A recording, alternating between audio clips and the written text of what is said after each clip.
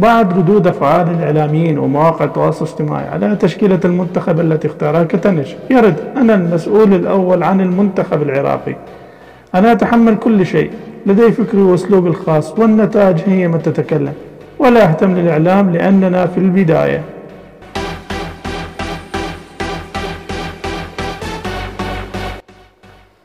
أما عن سبب عدم استدعاء كل من اللاعبين جستن ميرام وأحمد ياسين ومحمد داود لا يوجد رد من قبل كتنج أن الاستبعاد لأسباب فنية فهل الجمهور العراقي مقتنع بهذا السبب؟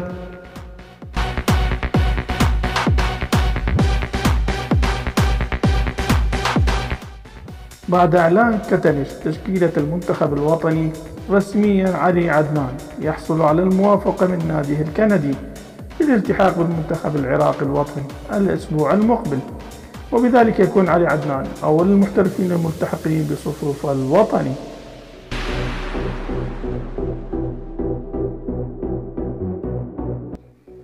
بعد الإعلان عن تشكيلة منتخب العراق الوطني والتي لاحظنا فيها عدم استدعاء الكابتن على عباس نود أن نوضح الآتي إن سبب عدم الاستدعاء هو وجود جواز اللاعب لدى السفارة البرتغالية لغرض إكمال تأشيرة الدخول إلى البرتغال والالتحاق بتدريبات الفريق البرتغالي.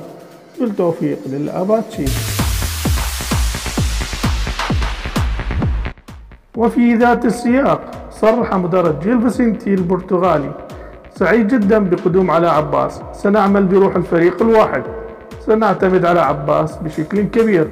بالتوفيق للأباتشي في احترافه الجديد مهاجما للديوك. أصدرت لجنة المسابقات التابعة للهيئة التطبيعية للاتحاد العراقي لكرة القدم. جدولا يخص مباريات المرحلة الثالثة للدور العراقي الممتاز للموسم 2020-2021